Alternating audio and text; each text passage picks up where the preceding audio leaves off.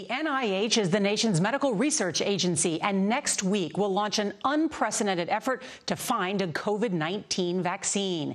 NIH Director Francis Collins is part of Operation Warp Speed, which aims to deliver 300 million doses of a COVID 19 vaccine by January 2021. And he joins us now.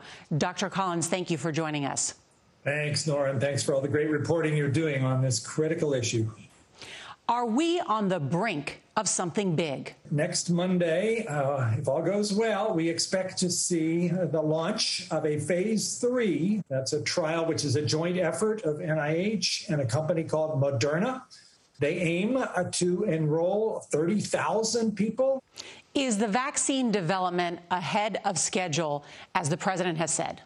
I've been at NIH for 27 years. I have never seen anything come together this way as we have tried to do and are now doing uh, for the development of vaccines. And the government, by providing additional resources, has also made it possible now to plan manufacturing of vaccine doses even before you know if the vaccine is going to work. But I do want to say, Nora, when people hear that warp speed term, maybe it makes them a little nervous. Like, wait a minute, are they being a little bit too casual here about safety? No, we are not being casual as far as the safety and the effectiveness will not be compromised.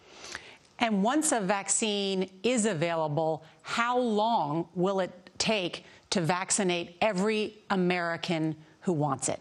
By the spring, I would think most Americans would have the chance for a vaccination. I hope, by the way, that most Americans will see this as something they want to do. I'm a little worried about some resistance to this that's also emerging in some of the polls. Bill Gates told me he's concerned right now because, in his words, the CDC has been muzzled to a dramatic degree, and that Dr. Fauci, who you work with, has been limited. Do you agree? Dr. Fauci doesn't just work with me. I talk to him every night. Uh, uh, he is uh, one of the most remarkable scientists in the world and the most significant expert in infectious disease anywhere. There have been some ups and downs. I'm happy to see the president now talking about having a good relationship with Dr. Fauci. I hope we will see more of him. Dr. Francis Collins of the NIH, thank you so much. Nora, it's great to be with you. Thanks for what you're doing. Some exciting news ahead, and you can see more of our interview online at cbsnews.com.